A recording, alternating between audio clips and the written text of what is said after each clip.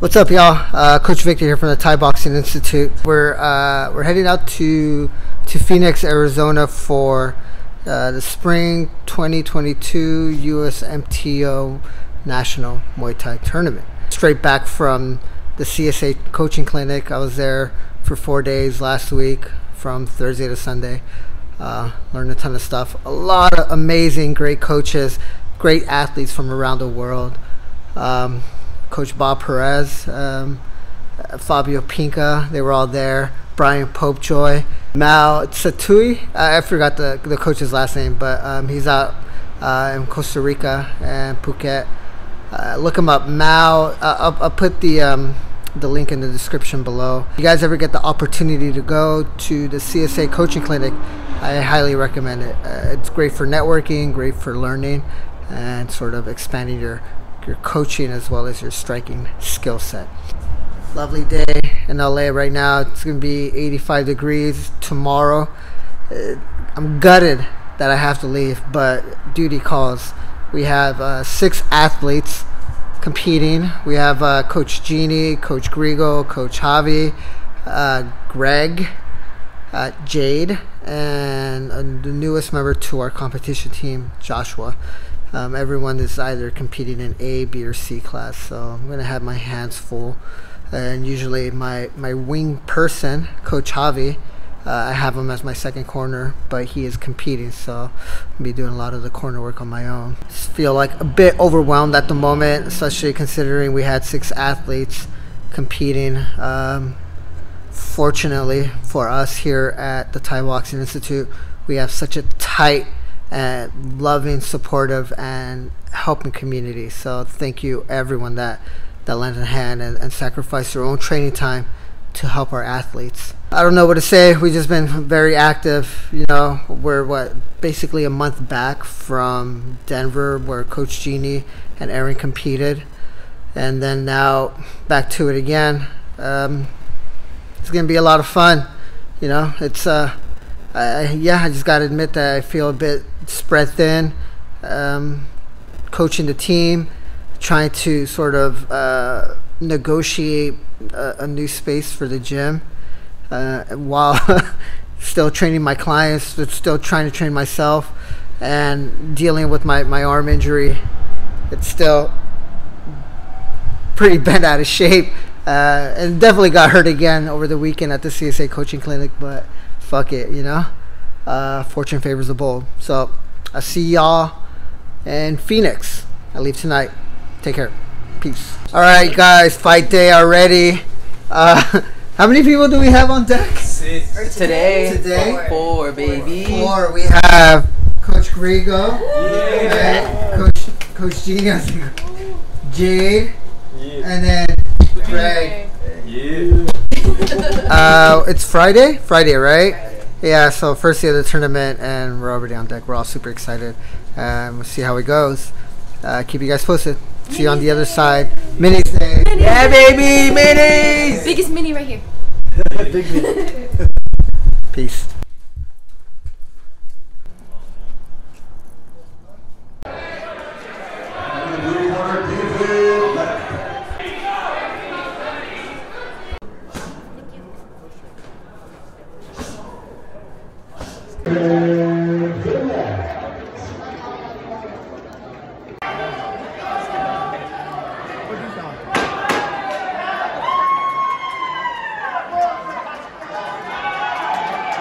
So I think it's what time is it? Like seven o'clock. Six six fifty, six forty nine. Uh, we just had two tough loss, uh, split decisions by Coach Grigo and Coach Jeannie.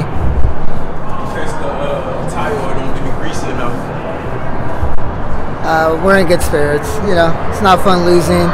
Um, split decisions. Could have gone either way, but from the coach's point of view, I just felt like they didn't do it. They didn't do enough. They weren't aggressive enough. They they're just kind of moving back a bit too much for for what was given to them, like opportunity to counter strike. All the other feigning was working, but they just didn't want to capitalize on that for whatever reason. I don't know. Yeah, absolutely. What do you guys want to say? Mm, Coach Green, go first. Um, was too apprehensive, didn't pull the trigger. But what we trained worked when I threw it, and I, that's important to highlight. Yeah, I think I mean we've got to go back and watch the tape. I think it's all still processing. Um, but what Coach Grigo said uh, just felt defensively strong, and I think I got comfortable there instead of um, really pushing the pace and being more aggressive and assertive. So just be will be something we work on for the next one. Yep, grateful to everyone, um, and just having to focus on the rest of the team. Yep, it's a fight game. You win, you lose. Fight train stops for no Move one. forward. like I say, you can just you can't control everything, but you can control the way you react. And uh, yeah, of course, it's it's hard to not get upset at first, but we still have the rest of the team, and we're very hopeful wishful for for good things. Um, always eternally grateful for the opportunity to be able to do all of this and to share the ring with other uh, very talented Nak Muays. So we wish our opponents the best of luck and the rest of the tournament bracket. Um, but yeah, we got Jade and Greg coming up in like I don't know, maybe in maybe a half hour. God damn, it's like hurry up and wait. But we'll see.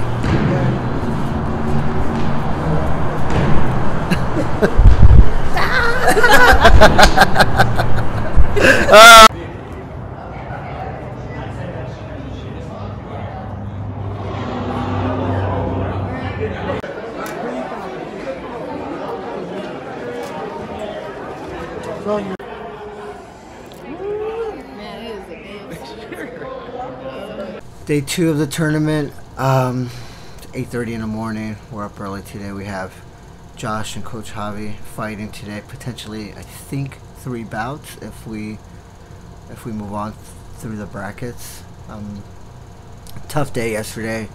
We had four people compete. We had three three split decision losses with one victory coming from Jade, being the last fight of the evening. So it's just like a quick turnaround from all this energy and emotion to a late dinner and then back at it right away. Um, but that's that's sort of what the tournament's about. It's, it's very you have to be present the whole time. You, you have to expect the unexpected. Like for example, today no one told us that they were going to cancel just the uh, starting ceremony, so all the bouts start like a half hour before they were initially going to start. So everyone's there at the venue right now, and I'm waiting to get picked up. Uh, in regards to yesterday's performance, you know, um, them being split decision losses, I feel doesn't change the fact that there was uh, a few things some of our athletes were missing. One of them, I think, being the sense of, like, lacking a sense of urgency.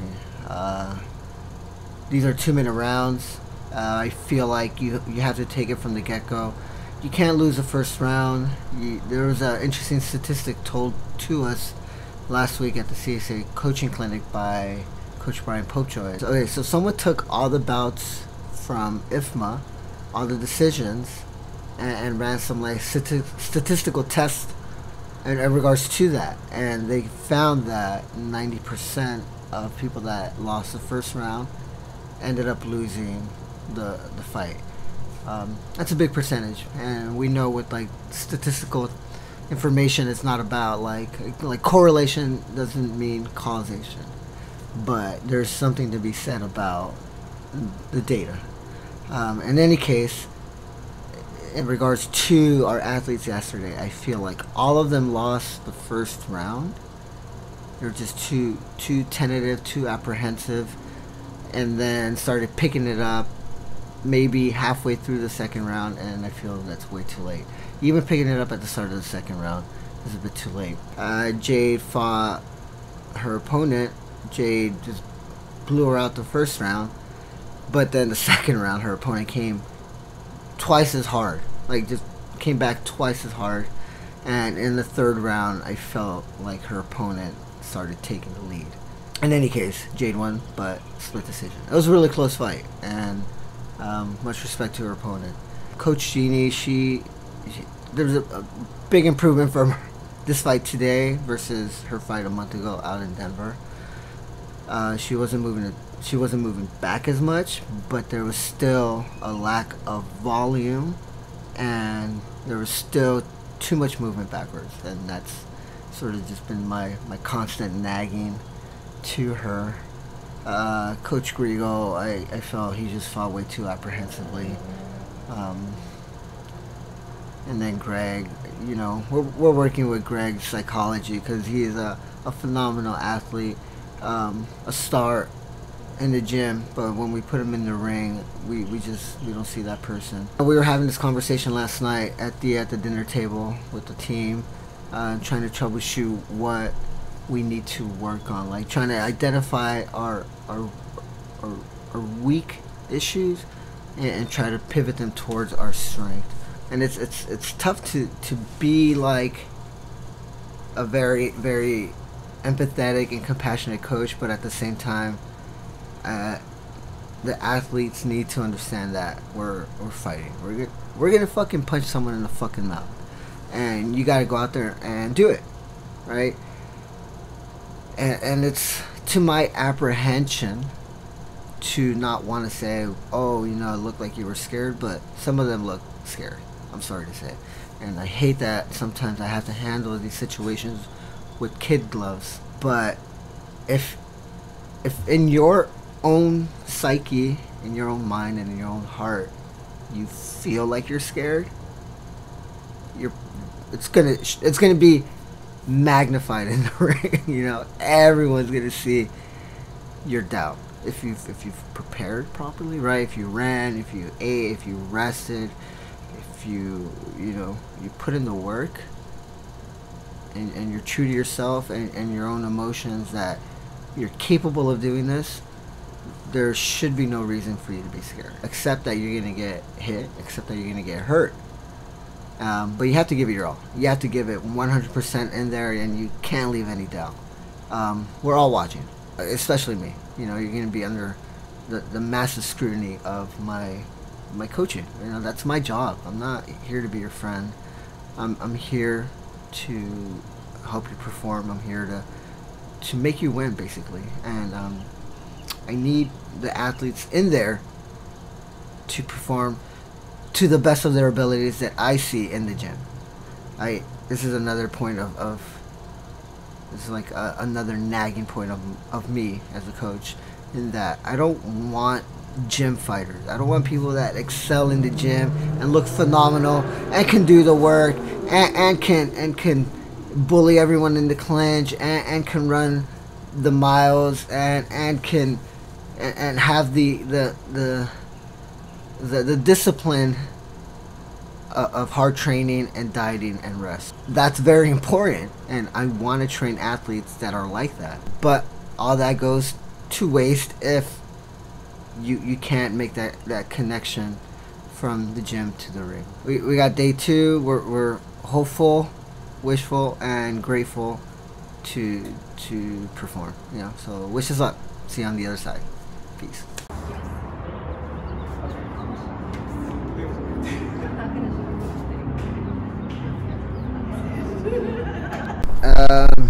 For the second part of the tournament. I'm here with Coach Javi. Uh, it's, I think 6 p.m. right now. Josh is on deck again against a very tough opponent from the Mango Tree, Honolulu. Uh, second fight to the semifinals. So we'll see how it goes. Um, first fight for him. Uh, kind of shake off the rust. Uh, aside from that, Coach Javi had a pretty tough fight as well. He didn't get the W, but he is in good spirits and in semi good health. yeah, I got some things here and there, but it was to be expected. Um, got oh, right foot's a little dinged up. We got some good knees, but and uh, good spirits. Good team is here. Everyone's very. Uh, it's it's it feels good to be in good company amongst friends and the coach here just taking care of all of us. So good stuff so we'll see how it goes. I'm pretty beat. It's been an emotional two days and been a ton of work. So uh, wishing wishing Josh the best, and we'll see how it goes. See you guys on the other side.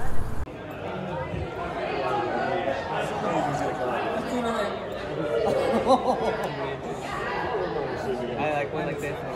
That's my favorite. we did not thank you. Rodrigo, also director of cookies.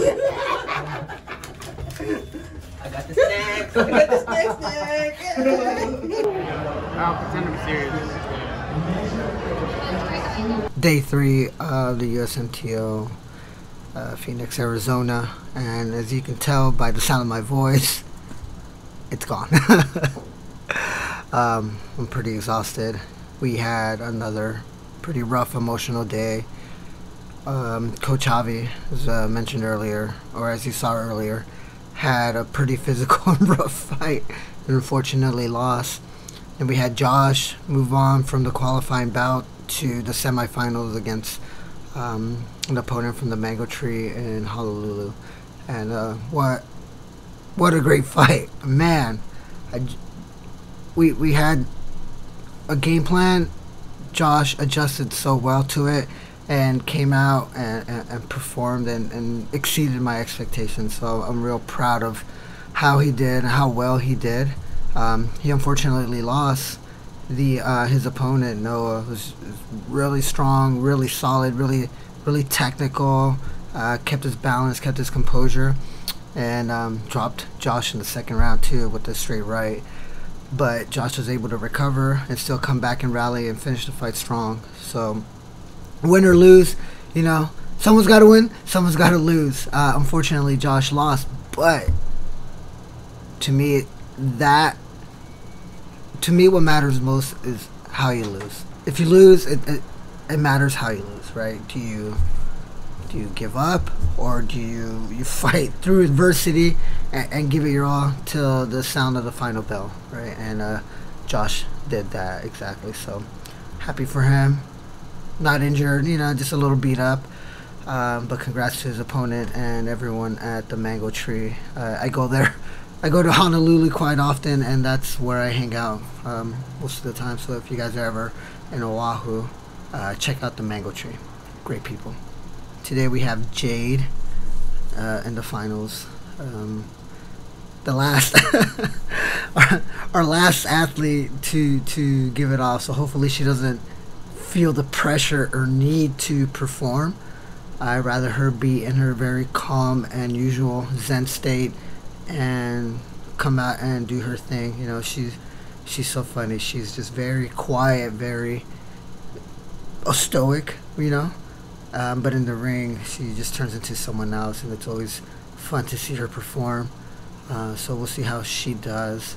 As far as the weekend goes, it's been exhausting. I when you have when you have the euphoria to keep pushing you through uh, it's great and it works well. But then like the opposite of that is the dysphoria the ups and downs of, of, of the emotions of, of losing you know? Um, that's been pretty rough. But we were able to like every evening we were able to get together and, and talk about why this is happening and adjust towards making things better as far as like organization, uh, training, training modalities. We'll see what, what positive we can pull from this. Uh, right, they're not losses, they're lessons. As far as how everyone else is doing, everyone's a bit beat up, um, but their spirits are high. They're, we've been able to just kind of spend time together without the, the, the pressure or the idea, the thought uh, looming overhead as to that they have to compete the next day. Um, so that's been like a sort of blessing, and that we're able to just enjoy our time together. Um, everyone's in good spirits, real happy, and uh, looking forward to seeing Jay perform. So last bout, she's on in like an hour and a half. About to pack up, check out, and head to the venue. See you guys on the other side. Take care.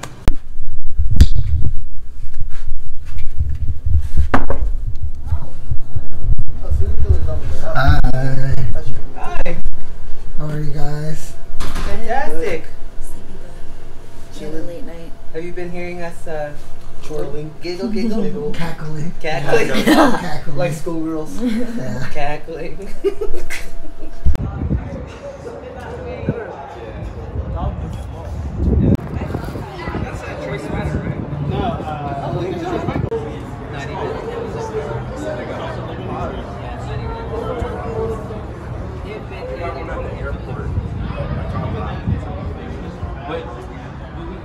Uh, this is now Tuesday. We got back from the tournament Sunday night. Most of them, they drove back from Phoenix, whereas I flew out.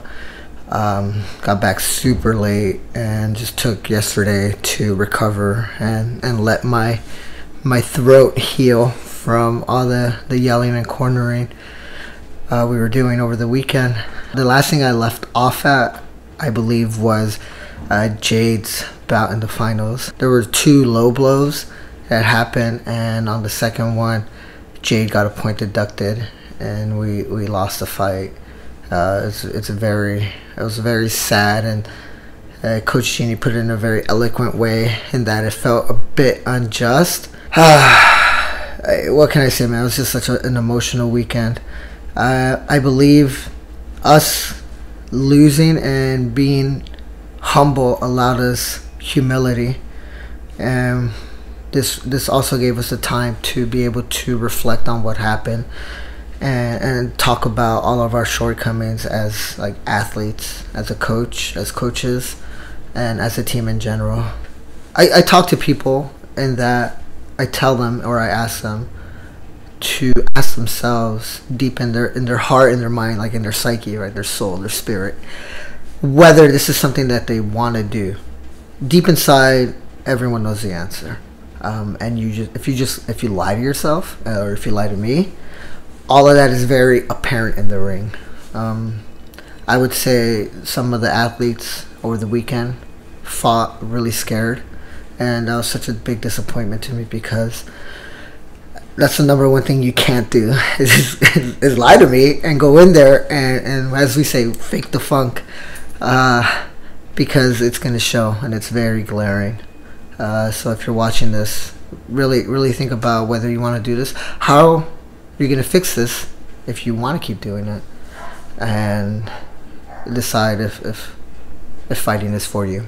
Whenever the team fails in this manner, uh, I always question myself and my abilities as a coach and try to figure out what happened. It's it's been hard dealing with my, my arm injury in past training camps. Um, uh, I'm like the barometer for what people need to work on. I, I generally and usually spar with everyone. Um, I, I clinch with everyone, and um, I hold pads for everyone, right?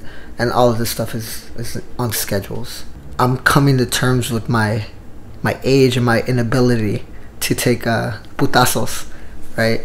Uh, when I was young, I was just so resilient, uh, felt invincible, right? And as I started maturing especially in the role of coaching, um, I've realized that my body is is less um, less capable of taking punishment, um, as you can see with my arm. And uh, there was an instance before we left to Denver, like the day before. Uh, I was sparring with Coach Jeannie and she hit me with a, a brutal right hook. I, she's so fucking fast and it came out of nowhere. And for sure, I had a concussion. Uh, so all of the, all of these things, right, just kind of are falling within like, uh, as I mentioned in the Denver video, the inflection point of the gym, where it's going, and myself as a coach and, and my own career. It's been tough feeling this vulnerable, and this gave me a great opportunity to to test some things out for coaching. Like you know, I always talk about trying new things, figure things out. Maybe things work, maybe they don't. Um, but you never know unless you try. So this was the first fight camp where I was basically hands off. Uh, I was gone for the first two weeks of the six weeks, and then for these last four weeks that I was back, I wasn't able to spar with anyone. You know, um, maybe light drilling, but no clinching, no sparring. So I think a lot of what went wrong this fight camp, this tournament, um, kind of had to do with my inability to work with everyone.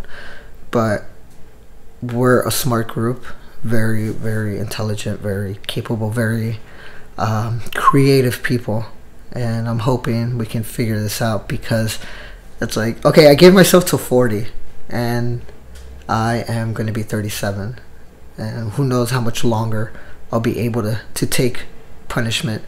Uh, and furthermore, for sure, I will have to get surgery on my arm this year. I do want to mention that I think the MVP of the tournament was Jade. Uh, for her first bout, I I wasn't I wasn't there to corner. I I felt like a spectator in that I was just blown away by her technique, um, by her tenacity, her her skill, uh, her IQ. Is was incredible to watch. You know these things that we were working on since like the start of the year till now, we're, we're coming up in the fight and um, I was just blown away because usually the turnaround for technique um, is much longer. when I when I first got Jade almost a year ago, I think a year ago, uh, let's just say a year ago, um, she was 0 and 3, and she came up to me and like kind kind of quietly teared up and, and was like, you know, can I can I join the gym?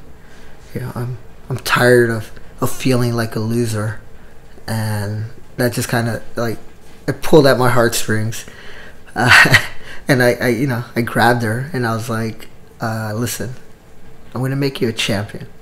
You're gonna be a winner, but you're you're gonna have to listen to what I say, and and just train hard, and, and believe this. We're gonna make you a champion." And since then till now, she was um, on a six fight win streak, right? For the exception of the finale, we all knew she won. Like once that point got deducted, she went to her corner. Uh, I was like, you gotta, you gotta finish her. Like you, you lost already. We're, we're down. You know, we, it's, it's near impossible to come back from a, a point deduction, right? Especially if, if we don't know what the rounds were like. Um, we weren't able to see the scorecards, but it felt like it was one for one. Um, don't get me wrong, the girl was tough you know, she she came to fight, uh, but Jade started outworking her. Um, point got deducted. Ref was like, "All right, fight," and then Jade, able to adapt, pounced on the girl, just started lighting her up with some boxing. Um, and I feel like if it was like maybe another ten seconds, uh, she would have gotten an eight count and then maybe evened out the the fight. But hey, it is what it is. that's one of our sayings at, at TBI. It is what it is, and that's the past, and we can't change it. We can only move forward. Uh, so with Jade, I'm just very proud of her performance, and the way um, she's shaping up to be a fighter. She, she's so young, and I told her, "You're you're 21. Don't be married to your record. In order to be the best, you have to fight the best." Um, so sometimes that means losing, and unfortunately, that was the outcome for Sunday. I'm very proud of the team overall. Everyone was so so open and, and so willing to hear the feedback, and this is all just gonna make you guys better athletes. Um, and that's that's basically it. That's the tournament. We have um, Erin fighting in the IFMA World Championships at the end of May out in Abu Dhabi, and her fight camp started this week. She'll be moving to LA for the remainder of her fight camp, um, where we're going to be really hitting it hard. So maybe next TBI goes to somewhere. Uh, the video will be TBI goes to Abu Dhabi for the IFMA World Championships. Just want to say thank you to all the TBI supporters, uh, everyone watching this, to our sponsors, um, Frequence, Kawata Dental, Golden Era Apparel, Out of Step, Flash Art, Touch Brilliance, uh, Kintsugi Bites, and, and everyone that's donated, the uh, anonymous donors to Miss Christina Workman. You're the, the biggest supporter of our team, and we're all eternally grateful for everything everyone does for us. I, I hope I didn't miss anyone.